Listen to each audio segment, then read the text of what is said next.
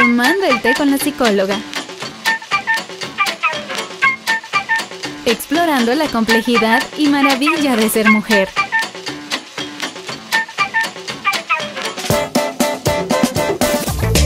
Bienvenidas. Nuevamente felices de poder llegar hasta ustedes, hasta sus hogares, sus trabajos, si están en el tráfico, bueno. Estamos felices de poder compartir con ustedes este momento del tecito para tomarnos nuestro tecito con nuestra querida psicóloga Lidia González. Y por supuesto, como siempre, sus amigos de Unión Radio llevando hasta ustedes contenido que nos va a educar, psicoeducativos, por supuesto, para que podamos juntos salir de las situaciones que nos lastiman, que nos dan ansiedad, que nos dan preocupación y también apoyar a aquellas personas que sabemos que lo necesitan. Así que iniciamos este tecito con el tecito del día que es hierba buena, un delicioso té que es muy bueno con los problemas digestivos, nos ayuda a mejorar y por supuesto también eh, nos ayuda a quitar esa, mm, ese malestar estomacal que sentimos algunas veces. Así que un delicioso té. Vayan por su tacita, por favor, las invitamos. ¿Qué tal está usted hoy? Hola Florecita, qué gusto de poder estar nuevamente contigo y con ustedes, por favor. El tecito sí o sí tiene que estar ahorita ya listo para poder disfrutar de este tema. Definitivamente hay temas que nos da temor en algún momento poder hablarlos o sencillamente porque no sabemos qué está pasando con nosotras, nos da miedo preguntar por la respuesta que podamos tener o por no entender. Hoy vamos a tocar un tema un poquito delicado, pero sé que nos va psicoeducar a todas y a todos. Eso es lo que nos gusta. Bueno, hoy vamos a estar hablando acerca de la resequedad vaginal. Sí, bueno, la pregunta que surge, que creo que tiene mucho que ver con uno de los programas que ya tuvimos, ¿verdad? De la menopausia. Invitamos a nuestras amigas que puedan ir a buscar en YouTube y en Facebook de Unión Radio Guatemala ese programa anterior, escucharlo y ahí vamos a aprender muchísimas cosas. Pero bueno, es común experimentar cambios en la salud sexual después de ciertas etapas de la vida como mujeres. Sí, Florecita. E incluso lo tocamos en dos temas. Creo que uno fue menopausia y el otro. Es cierto en la menstruación. En la menstruación. Sí, exacto. Hablábamos acerca de que nosotras las mujeres somos de etapas. Tenemos etapas. Cuando pasamos una, nos vamos a otra y así vamos por etapas y debemos de amar y aceptar cada etapa porque nosotras, Dios nos creó siendo demasiado especiales. Pero cada etapa te va a llevar a cambios físicos y emocionales que en algún momento no estamos listas, porque no sabemos que en determinada edad nuestros órganos ya no funcionan como antes. Y eso va a venir a trastornar en algún momento situaciones en tu vida. Por ejemplo, ¿en qué etapas pueda ser que yo experimente mucha resequedad vaginal? En la menopausia. Sí o sí, esta resequedad vaginal también puede ser experimentada por algo físico que te pueda estar pasando, Flor. Regularmente la reducción de progesterona va a hacer que tú no puedas lubricar tanto que tu pH vaginal no esté al 100 por el hecho de, sí o sí, la progesterona baja. Y si eres diabética, esto también va a afectarte, porque el pH de tu vagina no va a estar al 100. Y entonces acá tiene que entrar un ginecólogo o ginecóloga que te mande a hacer estudios de cómo está tu tiroides, si está trabajando bien o cómo está tu glucosa para ver si está afectando en algún momento el que tú no puedas estar bien lubricada, bien humectada y tengas esa resequedad vaginal. Esto es importante hablarlo también con la pareja, por supuesto, porque es cierto, es la mujer la que siente los síntomas, valga la redundancia, pero la pareja también necesita saber porque obviamente la mujer empieza a sentir incomodidad a la hora de tener relaciones sexuales. Exacto, miren, en realidad nosotros vivimos en una cultura en donde la sexualidad es como un requisito no es una, no es una acción de amor. Y en realidad hay momentos en la vida de una mujer que pues no estamos como muy dispuestas a tener relaciones sexuales. ¿Y qué sucede si mi esposo sí o sí quiere ya? Y tal vez no hay un preámbulo. Nosotras somos más emocionales y ellos son más físicos, más ya. Lo que puede llegar a suceder es de que no estés como bien estimulada. Debe de existir un juego y debe de haber picardía para que esté ese preámbulo que predisponga a que tú lubriques como tu pareja lubrica, porque ambos lubrican. Y entonces la lubricación de mi esposo puede hacer de que me ayude a que yo también pueda lubricar y no pueda ser tan doloroso en el momento de la penetración. Y entonces, ¿qué puede haber? Caricias, besos, eh, hablar, mensajes, palabras, miradas, ambiente, olores. Es algo hermoso. En realidad, tener relaciones sexuales para mí es un arte. No es venir y hagámoslo. No, es que debe de haber un complemento, debe de ser algo hermoso para él y para ella. Pero si tú no la estás pasando bien, debes de tener la plena confianza de decirle a tu pareja que te está doliendo, que te está lastimando y no sabes qué está pasando. Vas al médico y el médico va a venir a indicarte qué es lo que procede. Si no hay nada físico, florecita, entonces nos vamos al lado psicológico. Mm, interesante, muy interesante. Y es que existen varios aspectos también psicológicos o también emocionales que pueden contribuir a la resequedad vaginal, ¿verdad? Exactamente. ¿Cuáles podrían ser? Bueno, si son tus primeras relaciones sexuales y en algún momento tienes miedo, te da temor, en dar ese paso, pues no la vas a disfrutar y no vas a estar tan plena y tan entregada en ese momento. Ese puede ser un factor que venga y determine que tú no la pases bien. El estrés va a ser un factor espantoso. La frustración, el enojo, el no estar bien. Si tú no estás bien emocionalmente, no, vas a disfrutar nada, y mucho menos una relación sexual.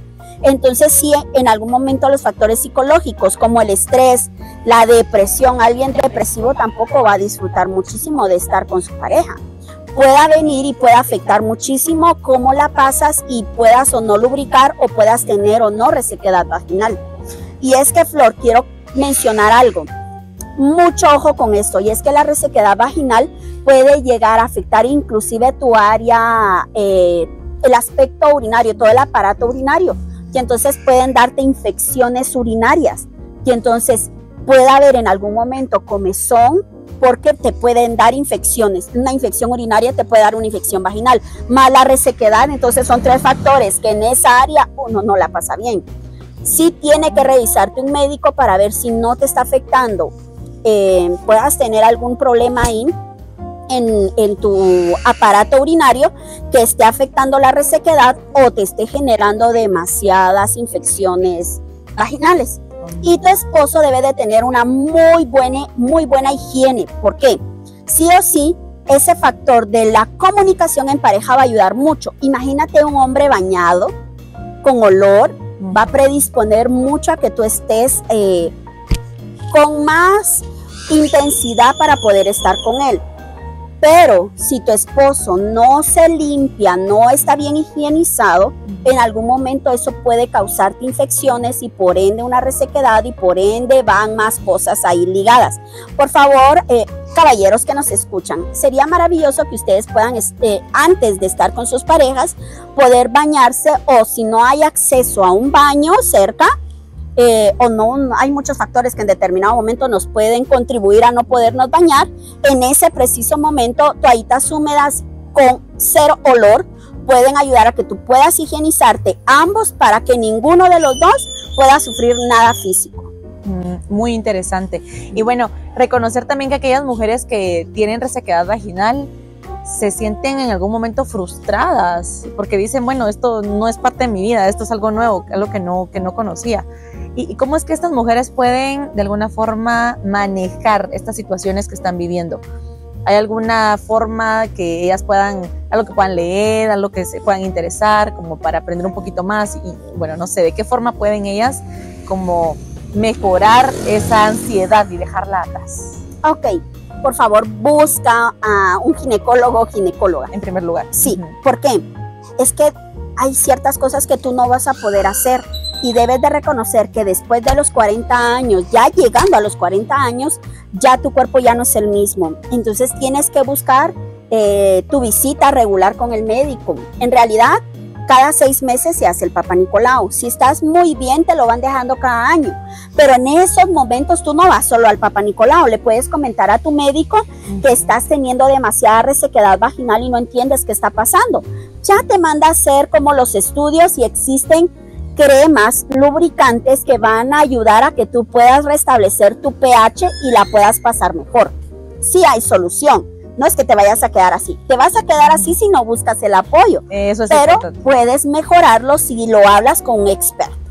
Claro, bueno, y es que algo también que nos hace pensar nosotras como mujeres, esa resequedad vaginal puede afectar a la persona, a la mujer, puede afectar su autoimagen, puede sentirse mal, puede sentirse menos y puede bajar su autoestima también por esto. Más creo que es un factor que viene de afuera. porque Imagínate de que definitivamente en el momento en el que estás con tu pareja, pues ambos deben de pasarla muy bien. Si tú no la pasas bien o no estás dispuesta, tu pareja tiene que ser alguien muy comprensivo. Pero si en algún momento te compara con una expareja o puede llegar en algún momento a hacer un comentario que pueda lastimarte, puede lastimar tu autoestima y tu autoimagen. ¿Por qué? Porque definitivamente te están comparando. Y entonces eso sí puede afectarte mucho. ¿Por qué? Para muchas mujeres es muy importante cumplir el rol a cabalidad de una mujer, todos los ámbitos, sexual, en casa, todo. Pero si esa área te afecta como mujer y él hace comentarios, debes de hacérselo llegar a él que lo que te dijo te está lastimando y pues ya no te puedes ver tan plena ya no puedes verte porque la sexualidad es una parte bien importante en nosotras las mujeres y si en algún momento no la estás disfrutando, inclusive sí podría afectar muchísimo cómo te autopercibes. Así que tomemos nota y por supuesto este también es un consejo para los caballeros que nos escuchan.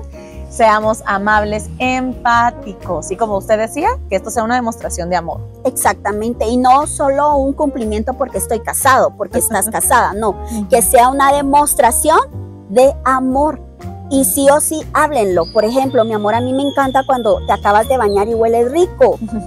Eso me incita, eso me hace amarte más. ¿Y por qué no hacerlo si yo sé que a ella, ella lo, la va a pasar muy bien? Tienen que hablar, ¿sí? Como parejas deben de buscar técnicas, métodos para pasarla muy bien. Y si esta parte está afectando, hay lubricantes que pueden ayudar a que ella se pueda sentir más plena.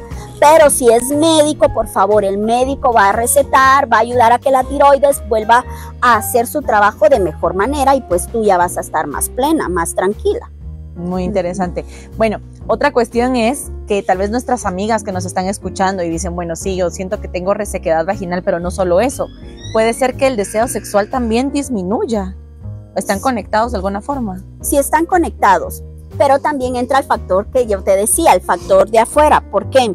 Imagínate que tú la estás pasando mal porque no estás bien lubricada y hay una penetración muy forzada, va a doler y en algún momento inclusive puede sangrar. O sea, no, es un sangramiento como cuando se rompe el himen, pero sí se puede lastimar como, como la entrada de la vagina. Y entonces imagínate tú si en algún momento quieres estar repitiendo esto, si te lastima, no vas a querer. Entonces tu deseo sexual obviamente va a bajar y más si es forzado. Por ello la importancia de decirle a tu pareja que te está lastimando, te está doliendo y no sabes qué está pasando. E incluso, de verdad, les lanzo el reto, porque aquí es de romper paradigmas y que de verdad nuestros hogares sean un pedacito de cielo en esta tierra. Los esposos acompañar a sus esposas al médico y preguntar qué puedo hacer yo extra para poder ayudar a mi esposa. Exacto. Hay preservativos con bastante lubricante que podrían ayudar inclusive. Entonces ambos la pasan bien, pero deben de hablarlo y no deben de tener temor. Estos son temas que debemos de hablarlo. La sexualidad es algo hermoso que Dios dejó para las parejas casadas. Claro, claro. Entonces, por favor, háblenlo y busquen técnicas. ¿Saben por qué? Porque sí se reduce el, el deseo sexual. Si yo la estoy pasando mal, no voy a querer repetir esto mañana. Totalmente. Bueno, ya quedó claro que hay muchas situaciones biológicas y físicas que afectan a una mujer para que no, para que esté reseca vaginalmente. Pero si hay eh, situaciones emocionales también que afectan, ¿cómo poder tratar esto? Ok, aquí sí entra, aquí sí entro yo. No. Aquí entran, entramos los trabajadores de la salud mental, psicólogos, psicólogas. ¿Por qué? Debes de conocer qué es lo que está pasando. Y miren ustedes, ahorita estamos manejando un nivel de cortisol, un nivel de estrés que definitivamente llegamos tan cansados a casa que no queremos más que dormir. Y entonces este nivel de cortisol sí va a reducir muchísimo el que tú puedas sentirte pleno en todo. Y les voy a tener que decir algo muy triste. El cortisol ayuda a venir y a que la tiroides no haga su trabajo en una buena manera. Entonces, si tú estás muy estresado, tu tiroides va a empezar a no trabajar correctamente y entonces la progesterona no se da y entonces estás reseca. Entonces, en realidad es como un factor emocional que te lleva a algo físico, como todo, Flor, como todo. O sea, si estás mal emocionalmente, tu cuerpo lo va a hablar, tu cuerpo lo va a hablar.